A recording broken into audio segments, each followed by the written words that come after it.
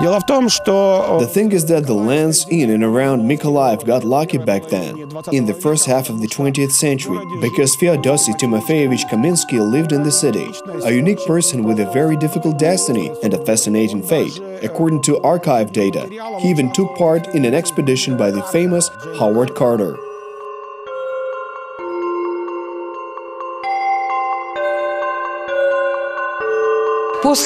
After heavy summer rainfall, they walked along the left bank of the Inhul River. And if there could have been a settlement there, and they assumed that there could be an ancient settlement, the so-called discovery of a cultural layer took place. That is, they were able to discover fragments of ceramic, bone, and stone crafts on the surface, which is certainly a reason to document the discovery of a new archaeological site.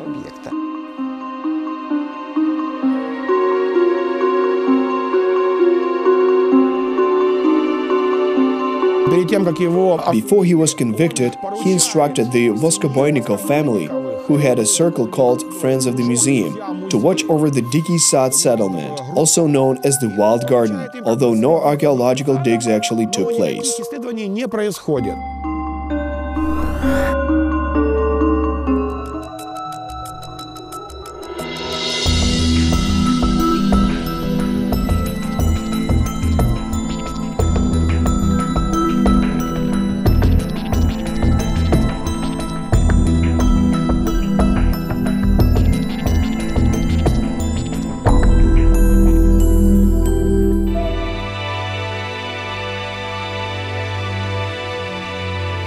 Mykolaiv Regional Museum of Local Lore.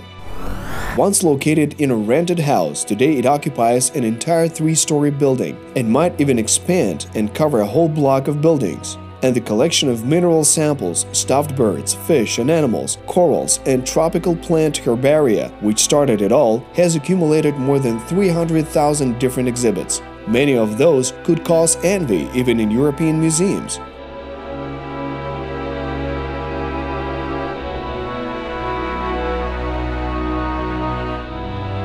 For example, a bronze cauldron that's around 3000 years old. It has only recently revealed its secrets, although far from all of them.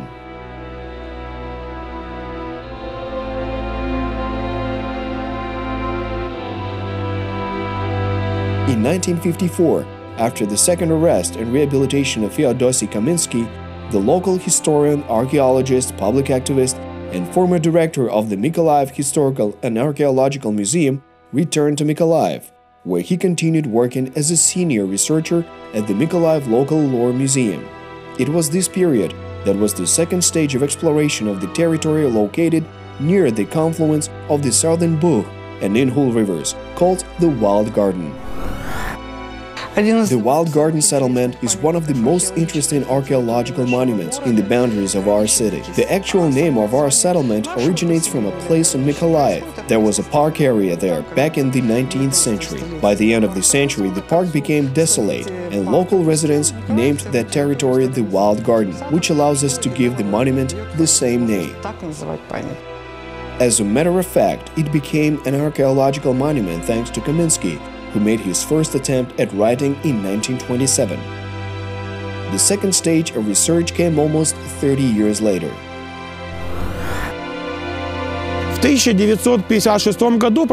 In 1956 he continued gathering information on the wild garden. At the time, in Olbia, there was the Black Sea archaeological expedition led by Lazar Slavin, former director of the Archaeology Institute, who carried out excavation work in southern Ukraine, particularly in Olbia. Research on the Wild Garden territory was conducted at the same time on the territory where possible, because by that time, in 1956, all of the territory of the Wild Garden, as we know it today, was owned by the USSR Ministry of Defense and a fuel and lubricants warehouse was located there. It was due to this fact they dug in the main along the fence of the military unit for several weeks. и вдоль забора воинской части. Wrong conclusions were drawn at the time. It was written that it was a Bronze Age monument of the so-called Sabatinovskaya culture. But since it was located within the city, in a built-up area, there was no need to pay it any attention. Similar monuments are well known in the steppe area of Ukraine. Oleg Zhuravlov, a senior researcher at the Archaeology Institute, disagrees fundamentally with the conclusion made by archaeologists who investigated the Wild Garden settlement, for a reason which was to be proven later on. According to him, there may be several reasons why his colleagues deemed the settlement as not having prospects. Ми ж не знаємо, що про що думали. We don't know what the people who wrote that this settlement was unpromising actually thought. The thing is that there are cases in archaeology when a settlement is considered unpromising, which turns out to be very important in its development. For example, the Mayaki settlement of the Tripoli culture, which was initially considered unpromising and then provided archaeologists with lots of interesting material. Потому что они э, заложили пять Because they started digging in five sites and only found fragments of dishes instead of whole dishes. They saw what was there, where the rest of the settlement was. They discovered buildings, roads, a sawmill, and warehouses. Стояли э, лесопилка, склады стояли. Мы до сих пор на верхних We're still finding traces of a military unit here in the upper layers. We often had to dig our way through asphalt to reach our Bronze Age horizon. горизонта бронзового века. but the course of events could have been different. But the unpromising verdict is not just an annoying mistake. People wrote that settlements were unpromising just to keep them for themselves and then later come back to them and dig them up. That may have also been the case. However, Kirilla Horbenko believes that there was no evil intent there, and that the conclusion, a fatal one for research, was an unfortunate mistake caused by several factors. The south of Ukraine traditionally contains ancient archaeological monuments. Berezan, Olbia, Chora of Olbia. Slavin specialization was ancient archaeology, not the Bronze Age. So they carried out the research accordingly and made their conclusion that it was not worth excavating. On top of that, there was no access to the territory, since there was a military unit there with barbed wire fences and military guards. Воинская. And that is how one of the most interesting settlements in Mykolaiv region and at the European level fell out of scientific circulation for many decades. Just a few finds from the Wild Garden remain today in the Mykolaiv Regional Museum of Local Lore. One of them is a bronze cauldron that has been keeping scientists restless for about a century. А котел э, име- имеет такие размеры. These are the cauldron's dimensions. It is 62 centimeters high and can hold 37 liters. Подобные изделия Experts believe that such products are very expensive, and one family could not afford one. It is possible that up to 500 people lived in the settlement, and there were several cauldrons for public use. For example, the Harvest Festival or some other event gathered large groups of people. In such cases, they used similar cauldrons to prepare food for a large number of people. The cauldron is made of sheet bronze using rivets.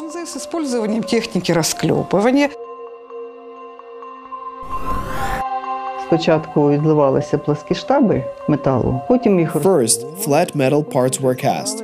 Then they were riveted, and then the cauldron's body was assembled.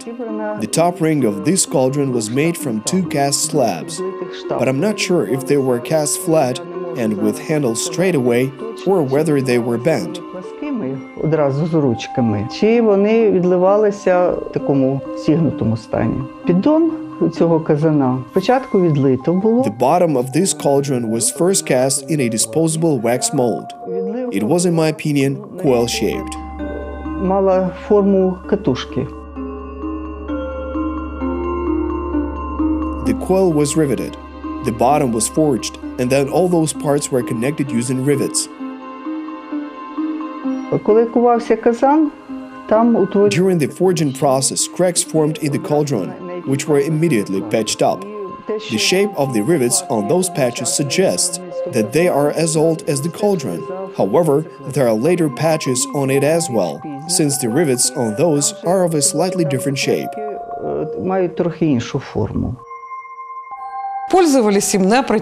It was in use for a quite long time, as evidenced by traces of ancient restoration. I mean the patches on the surface. The handles are made in such a way that when the cauldron is filled, with water or a ready dish, it can be lifted from the fire. They specifically used wood for that.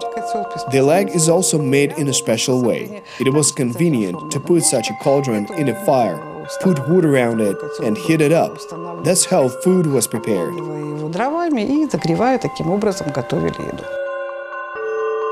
Researchers believe that the cauldron was carefully looked after and passed down from generation to generation. In this way, it could have served for about a century. It is an assumption, of course, and a fairly bold one at that, but if it was not used every day and was treated with particular care, it could have been used for quite a long time and was passed from generation to generation. From the time it found its place within the walls of the Mykolaiv Museum, the artifact has been attracting both ordinary people and researchers, Many scientific publications published the discovery from 12th century BC. This was the reason for a visit to the museum by specialists in the culture of the Bronze Age and steppe cultures and settlements. Today it is still an object of scientific study. Our restoration workers, and there is a restoration center in the museum, continually maintain its appearance by treating it with special substances. It's an open display here. We put it on a mock bonfire so that our visitors would have an idea of how it was used in ancient times. Despite the great interest shown by scientists and ordinary people, and the seeming fact that it has been studied comprehensively, for decades the cauldron refused to give the answer to one delicate question posed by scientists. For a long time, we didn't even have a theory on the origin of this bronze. But in 2015, researcher Tatiana Hoshko came to the museum and conducted chemical analysis of the bronze. That is, she took a sample and an analysis was carried out in a special lab in Kiev. Both the trip and the analysis might never have happened. It all started a few years back when the specialists from Kiev received a cauldron for restoration from a museum in Odessa. They really got me very interested. I examined it, studied it, and the way it was forged and put together. Then I got an idea to gather all the known cauldrons of the time and describe their manufacturing technology in detail, since my colleagues were unable to do that. Детально, бо мої колеги цього не знають і не можуть цього зробити. І я спочатку попросила. At first, I asked my colleagues from Mykolaiv to send me pictures. They did, and those were not bad, but I still couldn't determine how it was made, whether it was cast, forged, or both. So I went there myself.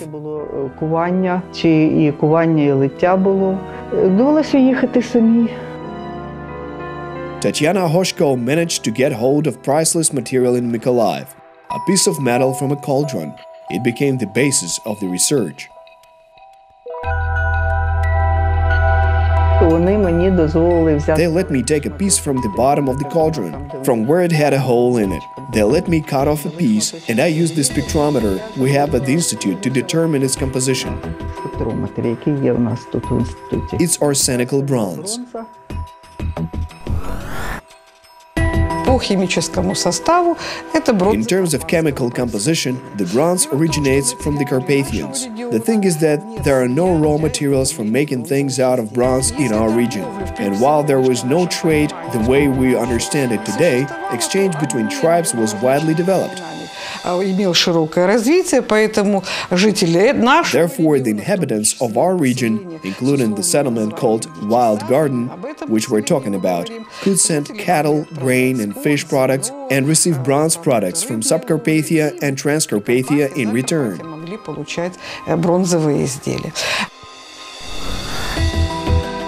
So, almost a hundred years after it was discovered, the cauldron revealed one of its secrets. The Wild Garden settlement itself continues to reveal its mysteries to this very day, and every find is more fascinating than the last one.